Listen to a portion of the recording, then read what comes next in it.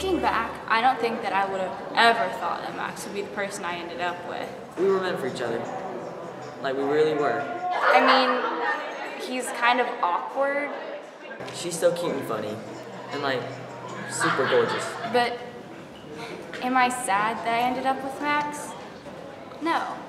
He's like, seriously, the best thing that's ever happened to me. She's the greatest person ever. I guess I kind of love him. I love her and I've known it since the day we met. The day we first met sure was a train wreck.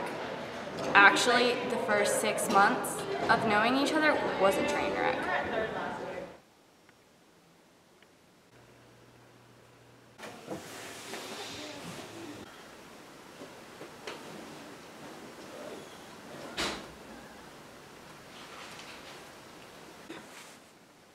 Oh my gosh. Oh my gosh, I'm gonna be late. I'm gonna be late. Oh my gosh, that I can't be late on, No, I'm gonna be late. No. on first day of school. Look! Oh. This is not gonna be a great first day of school. This is not my day. Gotta get ready.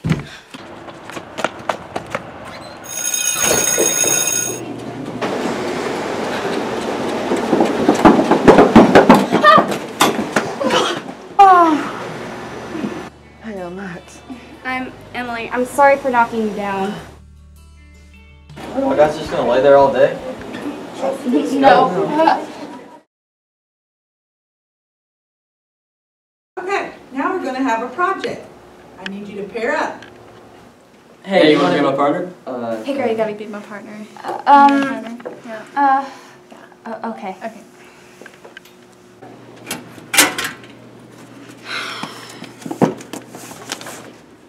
Hey, I'm sorry about what happened in class earlier. I wish we could have been partners. It's totally cool. You know, there's there's always other projects. Hey, oh my gosh, that was like awesome. We need to be partners like every project this year. Uh, we'll see. We'll see what happens. Uh, okay. Bye. Bye. One day, like six months after we met, it happened.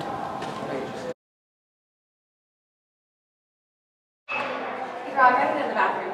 I'll be right back. Okay.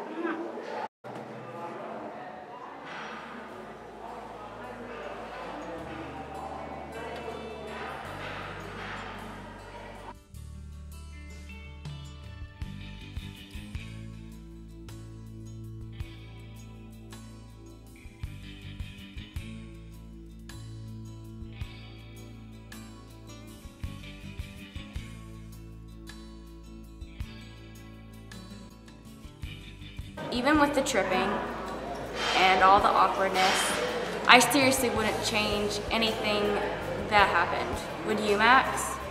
Nope. Not one bit.